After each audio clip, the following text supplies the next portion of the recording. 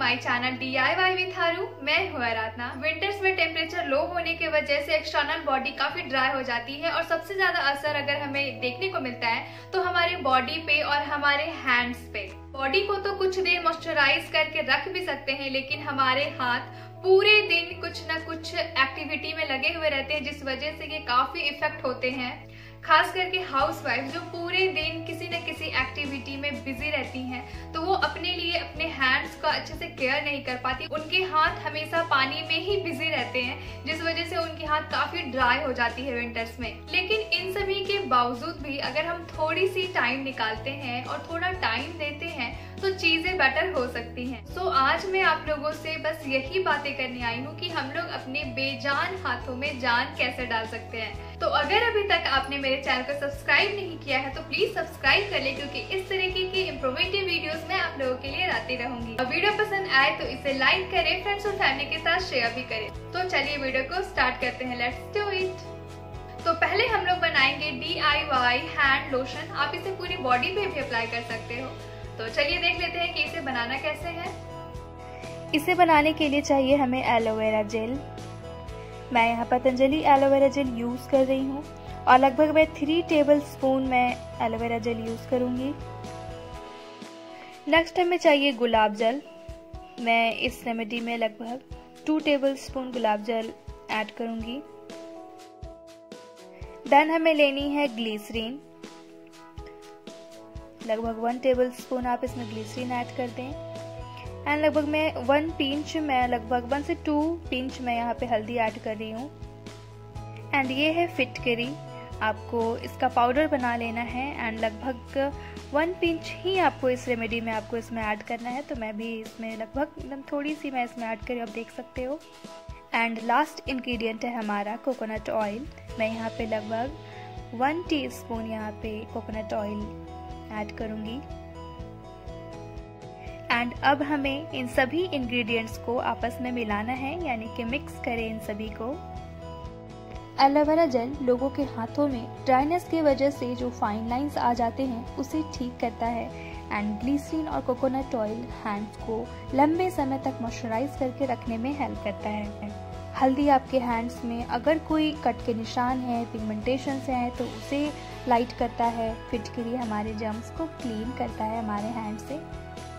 हमने इन सभी को अच्छे से मिक्स कर लिया है। देन आप किसी भी एयर टाइट कंटेनर में या किसी भी कांच की डिबिया में, मेरे जैसे छोटी सी डिबिया अगर आपके पास है तो आप उसमें भी डाल करके आप इसे अच्छे तरीके से आप इसे सेव कर सकते हो। गाइस फिटकरी ऐड होने से ये लोशन जो है ना, आपके हैंड को जॉम फ्री रखता है और कोविड के टाइम के लिए तो ये बहुत ही अच्छा मॉइस्चराइजर है। नाउ इट्स डन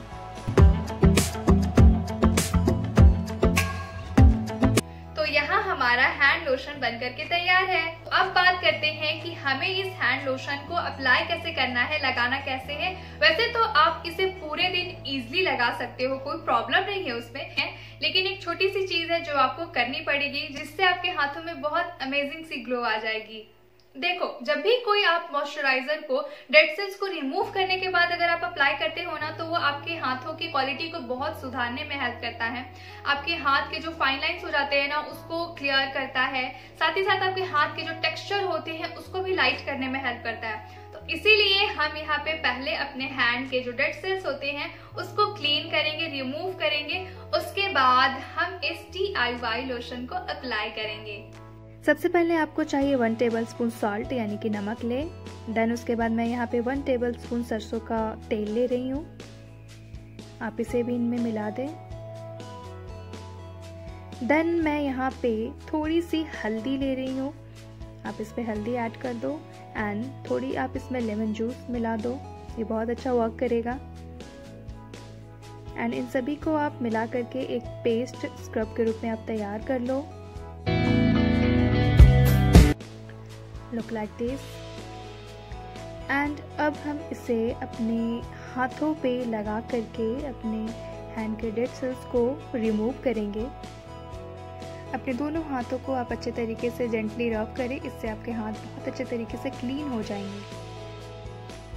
साल्ट हमारे हैंड के हार्ड डेड सेल्स को क्लीन करता है ऑयल मॉइस्चराइज करता है एंड लेमन एंड हल्दी स्किन को लाइट करने में बहुत बड़ी हेल्प करता है। और कोई निशान हो तो उसे भी साफ़ करता है। इस स्क्रब को आप सिर्फ़ रात को सोने से पहले एक बार डेली दो से तीन मिनट के लिए अप्लाई कर ले, क्योंकि दिन भर के काम करने से जो हमारे हैंड में डेड सेल जो जम जाते हैं, वो भी अच्छे तरीके से क्लीन हो जाएँगे। एंड साथ ही आपके हाथों को आराम करने का थोड़ा वक्त भी मिल जाएगा। जिसके अप्लाई करने के बाद नेक्स्ट मॉर्निंग आपके हाथों से बेबी सॉफ्ट वाली फीलिंग आएगी।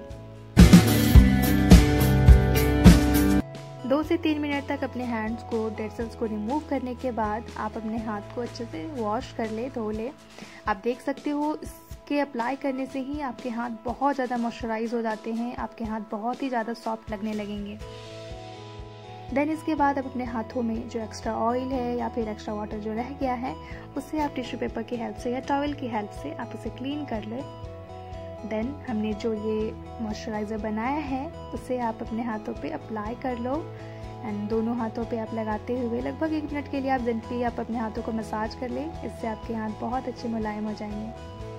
एंड जब आप नेक्स्ट मॉर्निंग उठते हो तो आपके हाथ बहुत ही ज़्यादा सॉफ्ट एंड साइनी लगने लगेंगे। इस स्क्रब को करने के बाद आप इस लोशन को थोड़ी सी आप इस तरीके से अपने हैंड पे ले एंड पूरे हाथों पे आप इसे अच्छे तरीके से मसाज कर लो। मसाज करते हुए आप इसे एक मिनट के लिए पूरे हाथों पे लगा लीजिए।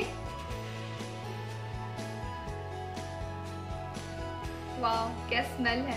में से एब्जॉर्ब करने दें एंड उसके बाद आप सो जाएँ।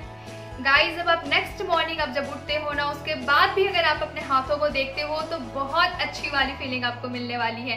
क्योंकि तब तक भी आपके हाथ बिल्कुल सॉफ्ट रहते हैं, आपके हाथों में बिल्कुल भी ड्राइनेस नहीं होती है। तो ये इस लोशन की खास बात है कि ये काफ़ी आपके हैंड्स को मॉइस्चराइज करके रखता है। पूरे दिन भी आप इसे दो से तीन बार अपने हैंड पे ज़रूर अप्लाई करो। And again going before to sleep उसके अपने हाथों को स्क्रब कर ले, उसके बाद फिर लोशन को लगा करके सो जाओ।